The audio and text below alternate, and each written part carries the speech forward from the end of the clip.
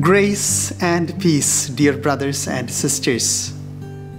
This week we have the Gospel of Saint Mark, chapter 4, verses 35 to 41, where the Lord crosses the lake of Gennesaret with his disciples.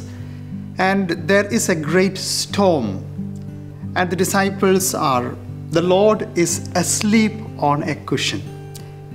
And the disciples try to use all their human skill as fishermen to try to control the situation. And they, they let the Lord sleep for a little while. But after, soon they realize things are getting out of hand. The storm becomes more and more violent, and they despair. This is when they go to Jesus and wake him up they say, Master, do you not care? We are lost.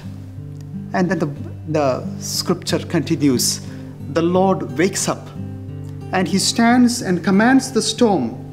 He rebuked the wind and said to the sea, Quiet now, be calm. The wind dropped, there followed a great calm. And he said to them, Why are you so frightened? Have you still no faith? dear brothers and sisters, a message that we can all take home this week is that the Lord is speaking to us in all the storms that rage in our own lives.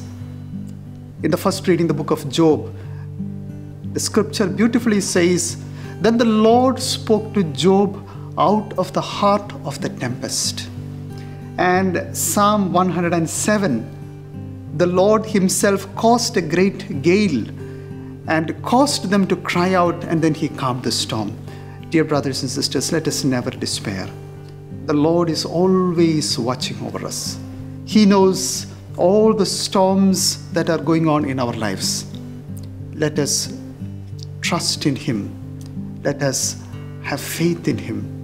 Let us allow Him to work in our lives he will calm our storms. Praise God.